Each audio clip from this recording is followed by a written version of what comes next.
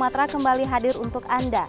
Kami merangkum berbagai liputan tentang keberagaman, aktivitas kehidupan, dan nilai inspiratif masyarakat Sumatera.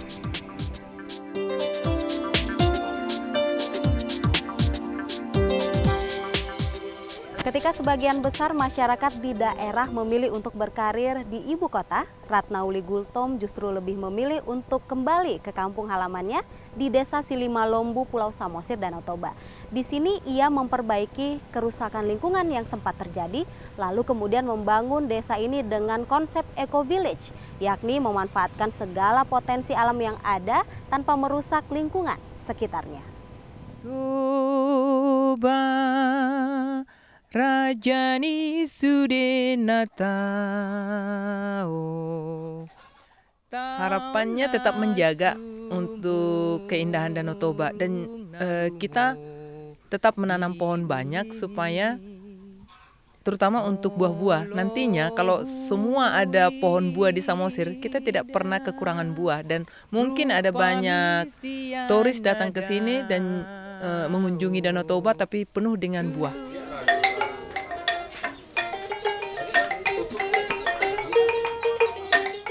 Tidak ada yang lebih membahagiakan bagi seorang Ratnauli Gultom, selain bisa membangun kampung halamannya Selima Lombu di Kabupaten Samosir.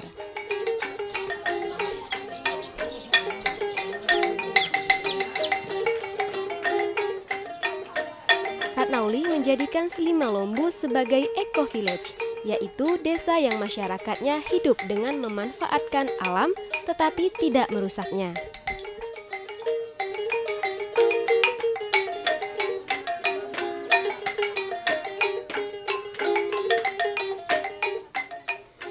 Ratnauli bersama warga di desanya hidup secara bersahaja dari sumber daya alam yang ada di Danau Toba.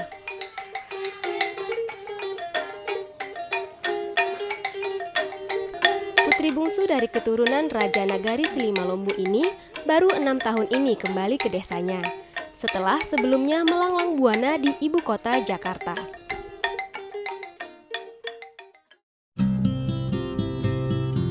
Kerusakan lingkungan yang ia temukan di kampung halamannya ketika kembali di tahun 2008 menyadarkan dirinya untuk melakukan sesuatu bagi desa Selimalombu. Limbah ikan mati dari perusahaan keramba yang berserakan di tepi Danau Toba secara perlahan ia bersihkan. Limbah ini ia jadikan pakan ternak dan pupuk. Ratna juga membersihkan lingkungan sekitar rumah warga yang dipenuhi sampah plastik. Uh, kondisinya seperti kampung-kampung yang lain ya biasa saja ya ada banyak plastik-plastik di dekat danau dan juga uh, dekat-dekat rumah. Nah, seperti di bawah rumah karena di sini rata-rata rumah panggung seperti itu ya. Tapi uh, kita berusaha untuk memulai membersihkannya dengan anak-anak yang tinggal di sini juga juga dari volunteernya banyak mahasiswa juga banyak yang datang dari Medan untuk membantu kami untuk membersihkannya selama dua tahun kita melakukan itu sekarang kita bisa melihat eh, plastik-plastik yang sudah lama yang kadang-kadang sudah puluhan tahun itu sudah tidak muncul lagi di sini sudah hampir bisa dipastikan 80% sampai 90% itu sudah terambil semua.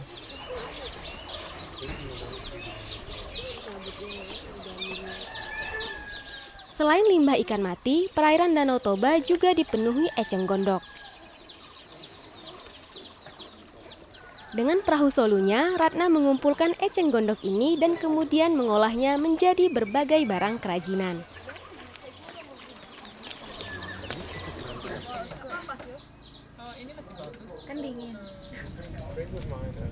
Permasalahan desa Selima Lombu yang nyaris menutupi keindahan desa ini dan perjuangan Ratna untuk memperbaikinya menarik perhatian para volunteer dan wisatawan dari berbagai negara. Mereka datang ke Selima Lombu untuk dapat menikmati hidup di tepi Danau Toba sambil membantu Ratna melakukan penyelamatan lingkungan. I respect Ratna immensely, and I think she's just amazing and brave and great, and what she's doing is really important. Sometimes it has been a bit difficult for us to communicate because different cultures and all that, but uh, after all this, I, I still, I, I really appreciate everything that she does, and, and, and, and I think she's really brave to do what she's doing.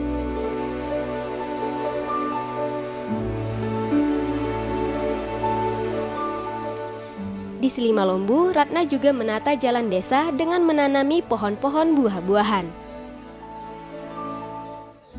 Saat ini Ratna setidaknya sudah menanam lebih dari 3.000 pohon di perbukitan Samosir.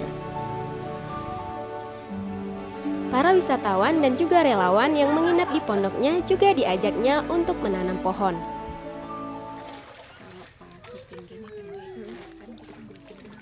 Bersama suaminya, Thomas Heini yang berdarah Jerman, Ratna membangun pembangkit listrik tenaga surya atau solar panel.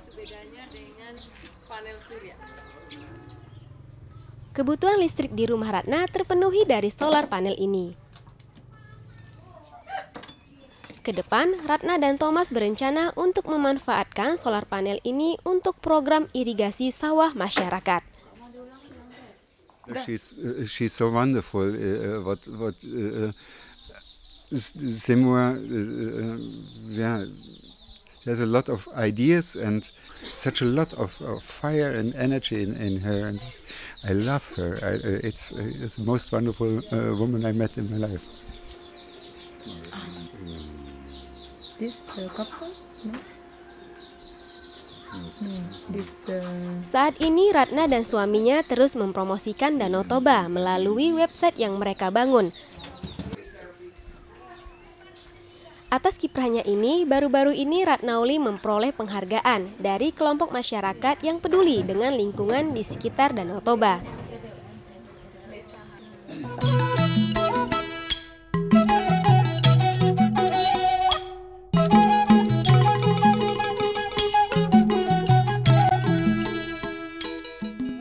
Toba membutuhkan orang-orang yang peduli seperti Ratnauli. Perjuangan Ratnauli diharapkan dapat menjadi teladan bagi generasi muda untuk senantiasa menjaga lingkungannya.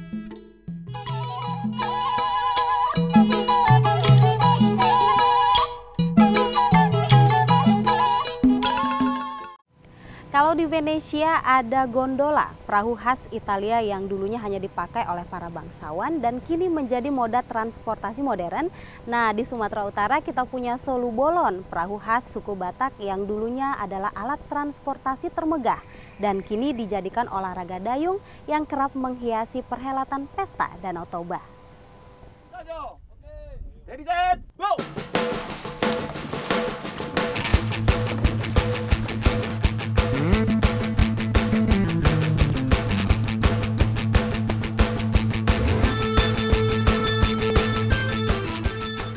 Banyak jenis olahraga yang bisa dimainkan oleh masyarakat. Olahraga ini ada yang bisa dimainkan sendiri, ada juga yang secara bersama-sama. Olahraga masyarakat ini biasanya berasal dari kebudayaan atau kebiasaan dari satu daerah. Salah satunya Solu Bolon, perahu besar khas suku Batak yang kini dijadikan olahraga dayung air di Danau Toba.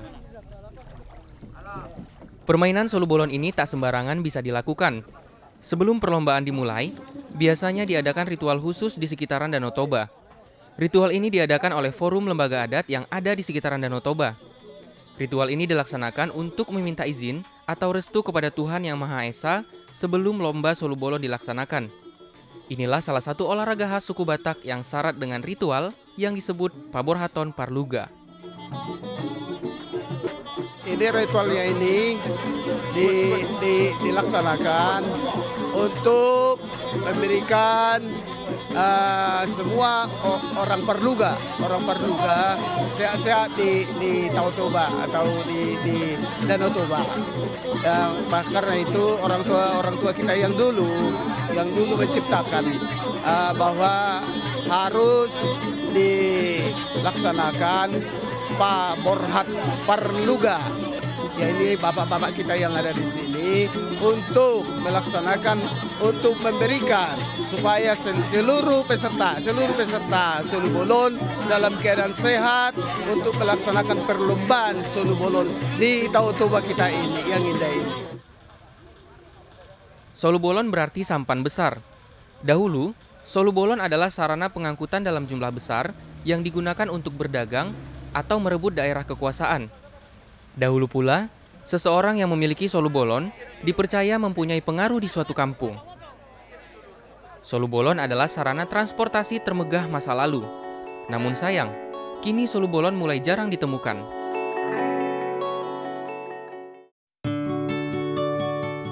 Di negara lain, sebenarnya ada potensi serupa dengan solu bolon ini. Di antaranya gondola, perahu khas kota Venesia, Italia tepatnya sekitar tahun 1094 Masehi. Dahulu, gondola dibuat khusus untuk alat transportasi para bangsawan. Namun gondola akhirnya menjadi transportasi umum masyarakat Venesia.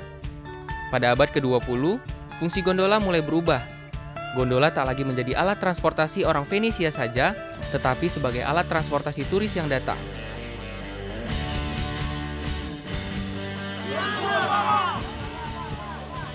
Pemanfaatan dan pelestarian Solo Bolon memang belum serapi gondola di Venesia. Salah satu usaha yang telah dilakukan untuk pelestarian transportasi ini adalah lewat perlombaan Solo Bolon.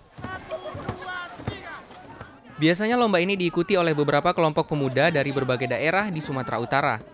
Sebelumnya, para pemuda ini sudah belajar bagaimana teknik yang baik untuk mengemudikan Solo Bolon dan mengetahui apa saja yang menjadi hal penting terkait perlombaan ini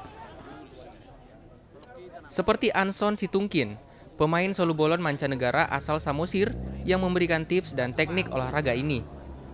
Kalau kesulitannya, uh, kalau kurang latihan, tidak ada kekompakan, itulah yang sulit. Cuman itu aja. Ya tenaga, pengaturan tenaga stamina untuk pertandingan, bahkan di kategori 1000 meter harus ada itu mengatur pernapasan. Ya, olahraga solo bolon ini sudah menjadi ciri khas perhelatan akbar Festival Danau Toba. Para peserta solo bolon ini tak hanya bersaing di Danau Toba saja, tetapi juga ikut di setiap perhelatan olahraga serupa di tingkat pancanegara. Para pemuda ini memberikan pengenalan kepada generasi selanjutnya bahwasannya solo bolon adalah bagian dari sejarah dan budaya etnis Batak yang harus dilestarikan. Harapan saya terutama untuk bapak-bapak pimpinan provinsi, kabupaten agar ditingkatkanlah. Karena gini loh Pak, uh, setiap per, mengikuti pertandingan Sulu Bulun ini bisa dimeriahkan banyak orang di keliling Danau Toba. Jadi agak senanglah kalau ini ditingkatkan terus. Uh, itu hiburan yang paling besar di Danau Toba dan bisa kumpul semua. Walau sebatas olahraga musiman, namun pelestarian Solo Bolon lewat lomba Solo Bolon ini patut diapresiasi. Hal ini akan memperkuat pemanfaatan sampan tradisional sebagai kebutuhan modern bagi masyarakat, seperti yang terjadi dengan gondola di Venesia. Melestarikan budaya, memberdayakan masyarakat.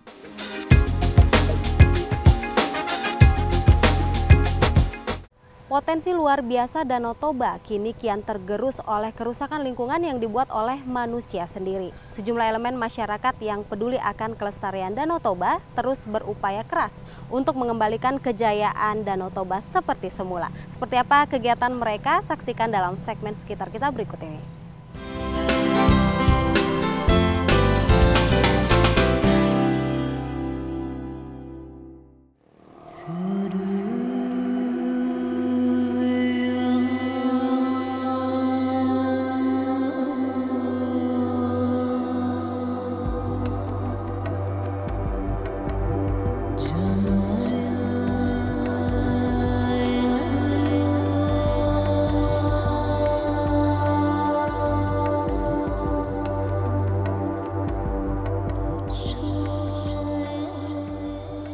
Danau Toba adalah situs sejarah dunia sekaligus merupakan salah satu keajaiban dunia. Keberadaannya sangat berperan dalam keberlangsungan hidup manusia, terutama yang berada di sekitarnya.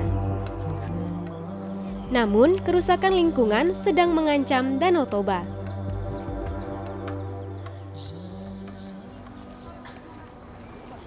Kondisi kawasan Danau Toba saat ini sangat memprihatinkan. Kerusakan lingkungan yang begitu masif terus-menerus berlangsung. Namun begitu, Danau Toba masih memiliki potensi yang luar biasa.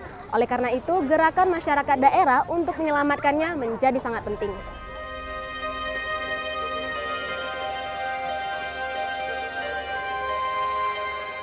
Rusaknya Danau Toba tidak lepas dari ulah manusia sendiri. Pembalakan hutan secara liar telah membuat perbukitan Danau Toba gundul.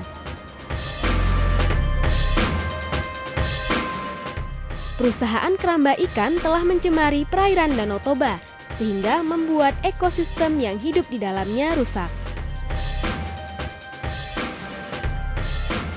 Perilaku membuang sampah sembarangan membuat kawasan Danau Toba menjadi sangat kotor.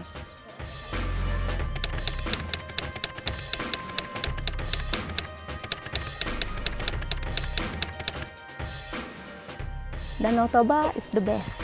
Danau Toba itu sangat indah sekali. Kalau masalah bagus sih bagus dibilang, cuma pelestarian lingkungannya kurang memadai gitu lah.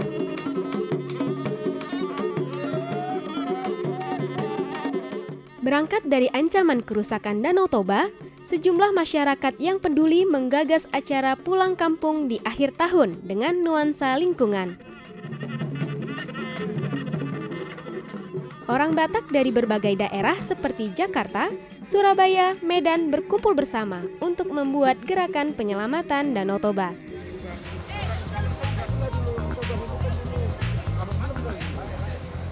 Perjalanan pertama, kami menuju ke Jonggini Huta di Tobasa. Semuanya bersemangat, bersatu untuk Danau Toba. Nuansa daerah berusaha untuk dimunculkan, seperti menghadirkan kue khas Batak ini, kue dolung-dolung. Ibu ini isinya apa sih? Isinya adalah gula merah, hmm? kelapa, dan beras. Dan beras Tepung dibungkus beras. dengan dibungkus dengan daun bambu. daun bambu. Daun bambu. Kita coba ya. Silakan Bisa dicoba. mencoba. Enak. Enak.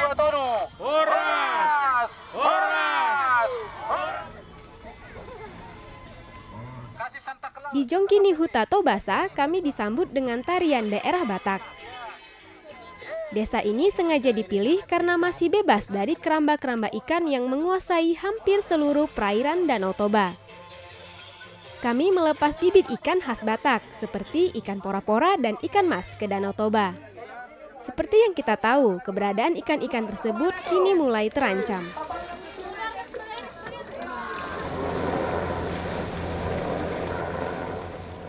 Perjalanan dilanjutkan ke Silimalombu, Samosir untuk menanam pohon khas Danau Toba. Seperti pohon andalehat, pohon piu-piu tanggule, dan lain-lain. Akibat perambahan hutan secara masif, keberadaan pohon-pohon yang syarat dengan sejarah itu pun mulai langka. Marande Sirait, penggagas kegiatan ini memilih Silimalombu karena di desa ini tinggal seorang pelestari lingkungan bernama Ratnauli Gultom yang telah menanam ribuan pohon. Diharapkan pohon-pohon ini dapat tumbuh dengan baik dan menopang kehidupan di sekitar Danau Toba. Bang Marandes, sebenarnya kondisi Danau Toba ini sendiri seperti apa sih? Kalau kondisinya saya sebutkannya sudah sangat penyakit parah gitu. Kalau Danau Toba menangis, siapakah yang mau men men menghibur? Oh, menjerit siapa yang mau mendengar? Terluka siapa yang mau mengobati? Kerusakan sendiri seperti apa saat ini?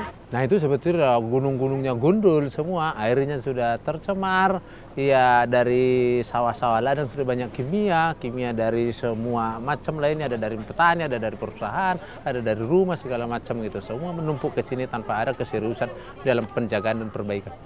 Lalu sebenarnya apa yang paling menyebabkan kerusakan Danau Toba saat ini, Bang? Kalau saya pikir penyebabnya itu adalah pemerintah tidak pernah serius di dalam membuat aturan yang jelas. Semua ada aturannya tapi semua bisa dilanggar. Kalau pada pemerintah tegas, tidak boleh buang sampah, tidak boleh pakai ini, tidak boleh begini dan tegas, semua aman. Tidak sulit sebenarnya, tapi ya tidak ada yang serius. Saya pikir harus semuanya kerjasama. Kalau tidak kerjasama yang bagus tidak akan selesai ini. Swasta, pemerintah, pengusaha harus semuanya berjalan bersama-sama. Tapi dibutuhkan figur-figur tokoh-tokoh yang bisa di depan.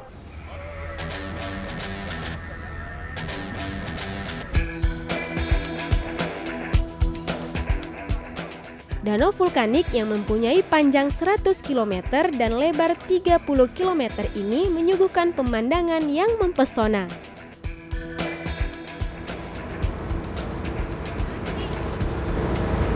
Anda dapat melihat keindahan Danau Toba sangat luar biasa. Namun, ancaman kerusakannya sudah di depan mata.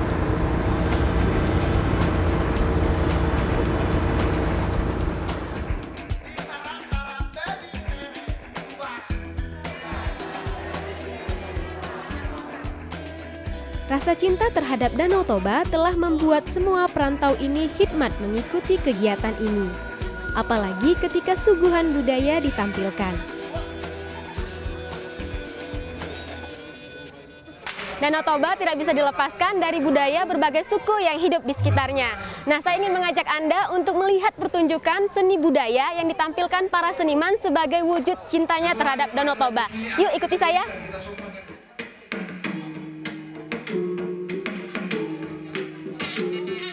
Pertunjukan Tunggal Panaluan dan Tari Tortor Cawan merupakan di antara budaya Batak yang selama ini hidup di sekitar Danau Toba. Seni inilah yang telah turut membentuk masyarakat Batak. Kelestarian Danau Toba diharapkan dapat berjalan seiring dengan kelestarian seni budaya tradisi ini.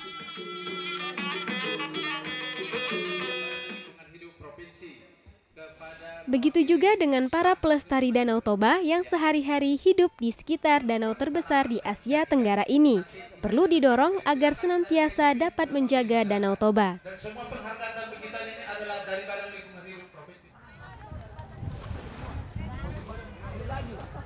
Nah, apa eh, pendapat Ibu tentang peran masyarakat untuk menjaga dan melestarikan Danau Toba, Bu? Ya, sebetulnya memang mereka harus berperan aktif ya karena mereka di sini dan itu untuk kelanjutan kehidupan mereka dan itu budaya mereka. Mestinya mereka kembali kepada budaya bahwa ini adalah milik kita yang harus kita lestarikan, yang harus kita jaga, yang harus kita optimalkan tanpa harus merusak.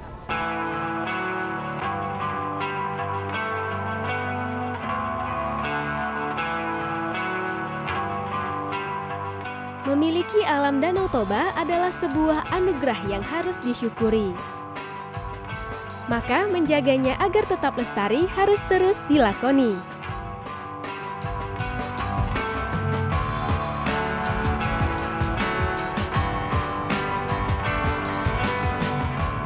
Danau Toba adalah anugerah yang luar biasa dari Tuhan kepada manusia. Oleh karena itu, mari kita jaga dan lindungi. Jangan tanya siapa, tapi mulailah dari diri kita sendiri.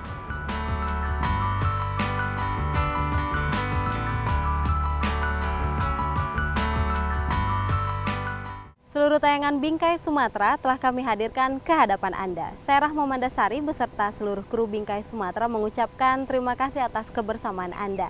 Lengkapilah hidup Anda dengan Bingkai Kebaikan. Sampai jumpa.